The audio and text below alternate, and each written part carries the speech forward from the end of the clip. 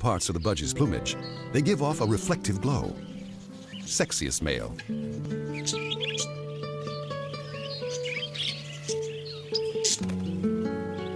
Especially if he can fight, too.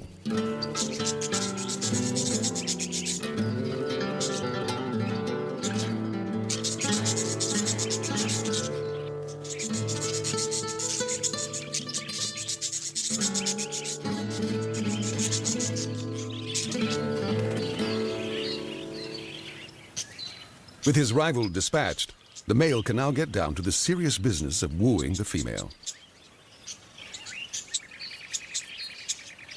Not only do budgies have highly reflective UV markings, some parts of their plumage actually become fluorescent. Their necks and heads in particular. The feathers don't lie. To make sexy feathers, the male must be healthy and parasite-free. These markings announce, my genes are great. Choose me.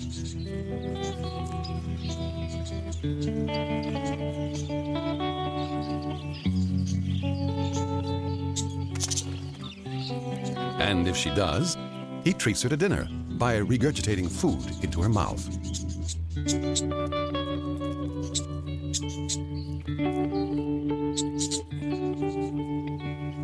Over a few days, she'll lay about six eggs that will hatch in just a couple of weeks. She feeds her blind, naked chicks a rich, milk-like liquid. They grow rapidly.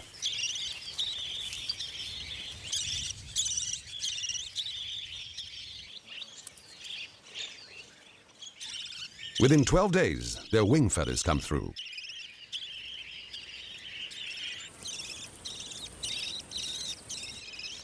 And after only four weeks, they're almost ready to leave the nest. Incredibly, these chicks will be ready to breed in just 60 days after hatching. It's a super quick turnaround to get the young out of the nest while the going is good. But it could be all over in an instant. At six feet, the perentie is Australia's largest lizard.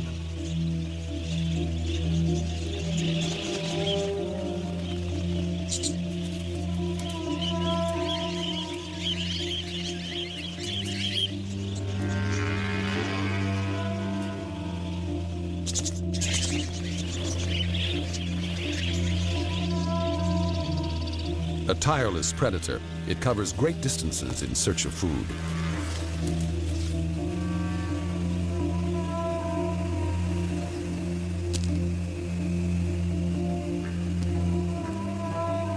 The perentie tracks its prey by sight and by detecting scent molecules that it picks up on its tongue.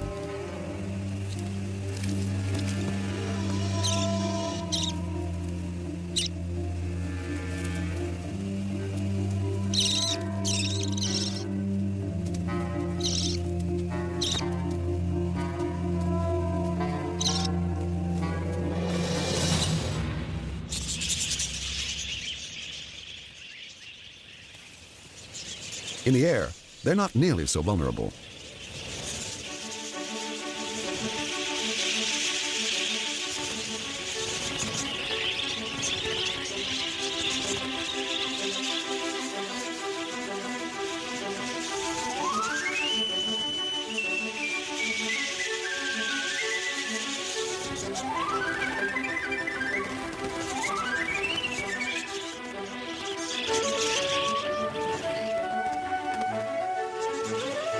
Synchronized squadrons fly low between the mulga trees.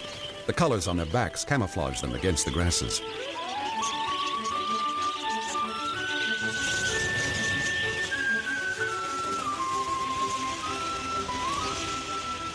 Where the budgies go, the birds of prey follow.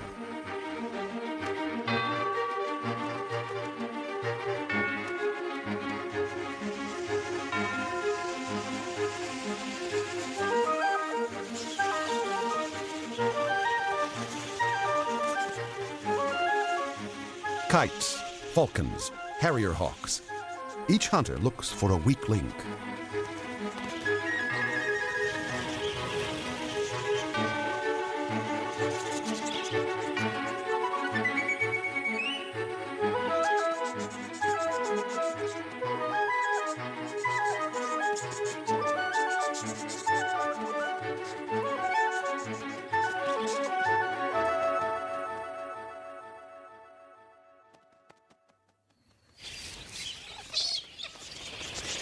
But it's not always life and death for Australia's parrots. Galahs seem to have plenty of time for clowning around.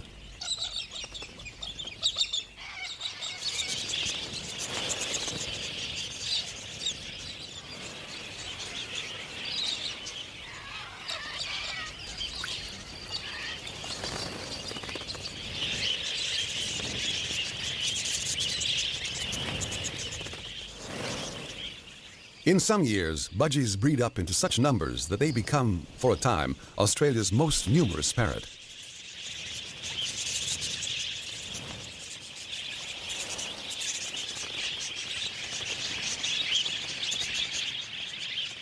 Accounts by the early settlers tell of flocks so big that they blackened the sky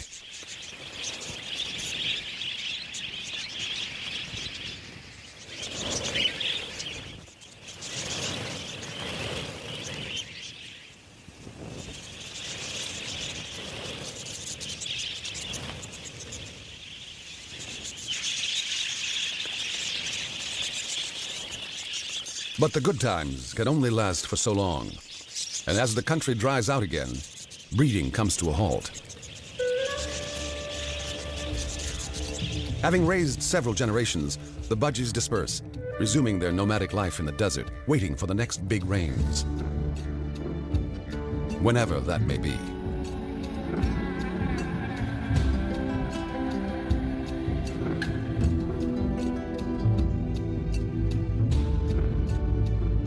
In contrast to the unpredictable droughts of the interior, the seasons along the southern edge of Australia are far more regular. In winter, Antarctic blasts of cold air bring snow to Australia's highest mountains.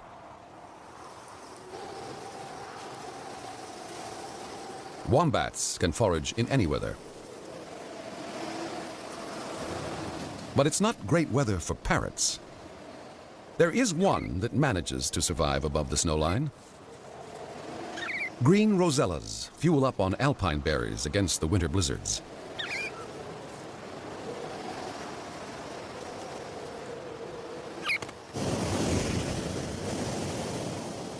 Down at sea level, the cold fronts bring gale force winds. Great for surfers, but treacherous for almost anything else. If you're a rock parrot, you must learn to like your plants heavily salted.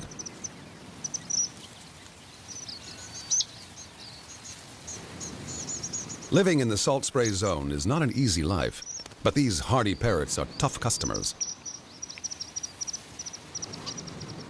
Things get a little easier in the nearby coastal heath. This environment is richer, attracting gang-gang cockatoos. Like most cockatoos, gang-gangs are left-footed, gripping onto their windblown perch with their right leg while holding the seed pod with their left.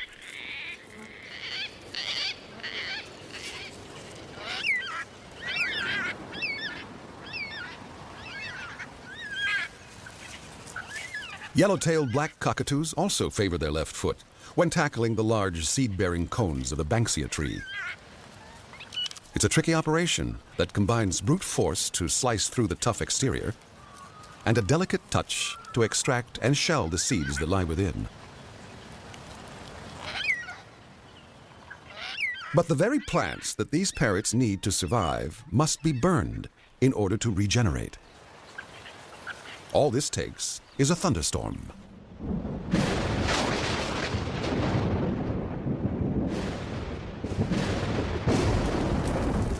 And the Australian bush burns astonishingly fiercely.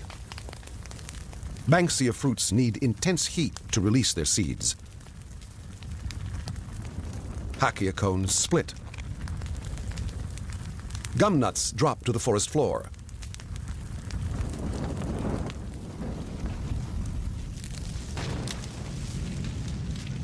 Oil in the eucalyptus leaves is as explosive as gasoline.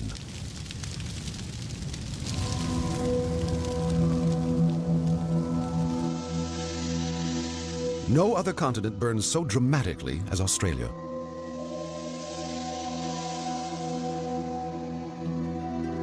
Some fires consume millions of acres. But within hours, currawongs are poking through the ashes.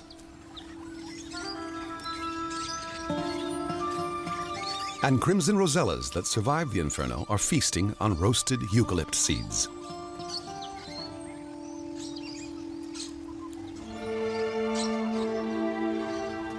Just a few days later, eucalypts are sending out green shoots.